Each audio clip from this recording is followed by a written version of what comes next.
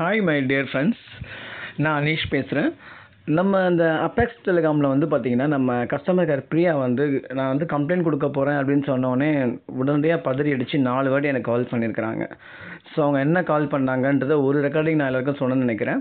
So இப்போ one by ஒன்னாக எல்லா ரெக்கார்டிங்குமே நான் யூடியூப் லிங்க் மூலமாக நான் கொடுக்குறேன். கண்டிப்பாக நீங்கள் எல்லோரும் கேட்டுக்கணும். எதுக்காகனா அவங்க என்ன முடிவில் இருக்கிறாங்க அப்படின்றத இந்த ரெக்கார்டிங் மூலமாக நீங்களாம் தெரிஞ்சுக்கலாம். கண்டிப்பாக அவங்க வந்து பணம் திருப்பி தர ஐடியாலாம் கண்டிப்பாக கிடையாதுங்க. அது இந்த ரெக்கார்டிங் சொல்லிடும். ரெண்டாவது அவங்க வேற என்ன மாதிரிலாம் யோசிக்கிறாங்கன்றதை நீங்கள் யூகிக்கலாம். ஒன்று ஒன்றா நான் சொல்கிறேன் பாருங்கள் தமிழ். ஹலோ சார் சொல்லுங்க. Good morning sir good morning ADC line sir Priya? ஆ சொல்லுங்க மேடம் நல்லா இருக்கீங்களா?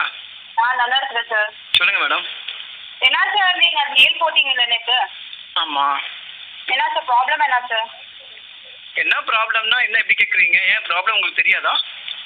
ப்ராப்ளம் எங்களுக்கு தெரியாது அவர் சார் எல்லாரும் சம்பாதிச்சிங்கல்ல? சார் அப்ளைனருக்கும் சம்பாதிச்சாங்க சூப்பராக கேட்டீங்க. நான் என்ன மேடம் சம்பாரிச்சேன் சொல்லுங்க.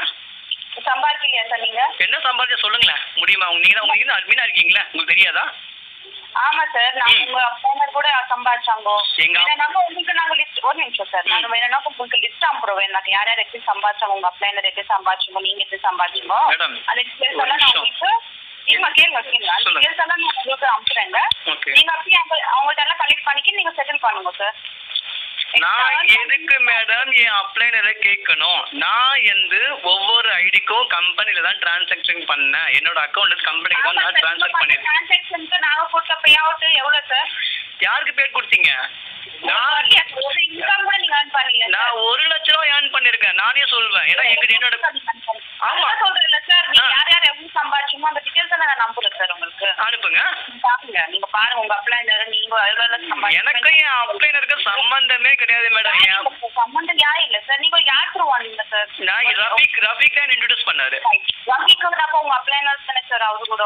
ஆமா அப்ளைனர் தான் அவரு. ஆனா நான் அவர்கிட்ட நான் ஜாயின் பண்ணலையே. நான் வந்து என்னோட நாற்பத்தி ஆறாயிரம் ரூபாய் கம்பெனிக்கு தான் அனுப்புனேன். நான் ரஃபிக் அனுப்பல.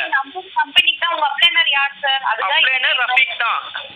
ரஃபிக் சார் நீங்க நீங்க போட்ட ஃபார்ட்டி சிக்ஸ் தௌசண்ட் உங்களுக்கு இன்கம் வரலையா? வந்துச்சு. எனக்கு வந்துச்சு. எனக்கு வந்துச்சு. மேடம் நான் வரலன்னு சொல்லவே இல்லையே. ஒரு நிமிஷம் சார் உங்களுக்கு. இன்கம் உங்க இன்கம் உங்களுக்கு வந்துட்டப்போ.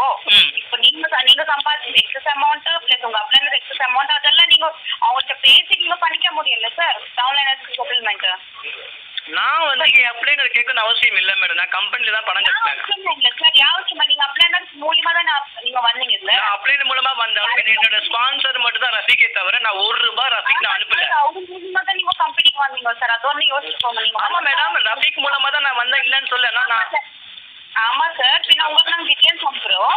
அவங்கள்ட்ட பேசி உங்க உங்க டீட்டெயில் யார் யார் எக்ஸஸ் அமௌண்ட் சம்பாதிச்சாங்களோ அவங்கள்ட்ட பேசி நீங்க செட்டில்மெண்ட் பண்ணுங்க. நான் அவகிட்ட பேசணும் அவசியம் இல்லையே மேடம் ஏன் அவசரம் இல்ல சார் அதான் கேக்குறீங்க. ஏன் அவசரம் இல்ல? நான் ஏன்னா அவ எனக்கு என்னோட ஸ்பான்சர் மட்டும் தான் அவங்க மூலியமா நீங்க வந்தப்போ கம்பெனி எப்படி அக்செப்ட் பண்ணிச்சோ. ம். இப்போ கூட சேம் ஆஸ் இட் இஸ் அவங்க கூட பேச வந்து கம்பெனி சொல்றது இல்ல சார் உங்கள்ட்ட ம் ம் அப்படிதான் சொல்றது இல்ல அப்படின்னா நாங்க அதான் சொல்றோம் நாங்க லிஸ்ட் அனுப்புறோம் யார் யார் எவ்வளவு சம்பாதிச்சாங்க அதுல நீங்க யார் யார் எக்ஸஸ் அமௌண்ட் அர்ன் பண்ணாங்க அவங்கள்ட்ட பேசி நீங்க செட்டில்மெண்ட் பண்ணுங்க. நீங்க லிஸ்ட் அனுப்புங்க. நீங்க லிஸ்ட் அனுப்புங்க மேடம் நீங்க லிஸ்ட் அனுப்புங்க ஓகே சார்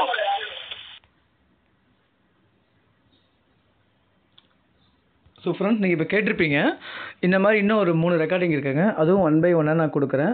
ஸோ வந்து பார்த்தீங்கன்னா அவங்க தெளிவாக இருக்காங்க. அவங்க வந்து நமக்கு வந்து கண்டிப்பாக வந்து ரீஃபண்ட் பண்ணுற ஐடியாலாம் கிடையாதுங்க. நம்ம அலைக்கழிக்க தான் போகிறாங்க சரிங்களா? நம்பாதீங்க கம்பெனியை வேறு எப்படிலாம் பண்ணலான்ற மாதிரி யோசிக்கணும். கண்டிப்பாக கம்பெனிலேருந்து நம்ம ஒரு ரூபா வாங்க முடியாது. ஏன்னா அவங்க வந்து இந்த ரெக்கார்டிங்லாம் நான் கொடுக்கூடாதுன்னு நினச்சேன். ஸோ ஒரு லேடியாக இருக்காங்களே நம்ம எதுக்கு பாவம் அப்படின்னு நினச்சேன். ஆனால் கண்டிப்பாக சொல்கிறேன் பக்கா ஃப்ராடு கம்பெனிங்க இது. ஏடிஎஸ்ன்றது நம்பர் ஒன் ஃப்ராடு கம்பெனி நானே சொல்லுவேன். சரிங்களா? அடுத்த ரெக்கார்டிங் நான் ஒன்று கொடுக்குறேன். ஃபஸ்ட்டு இதை கேளுங்க.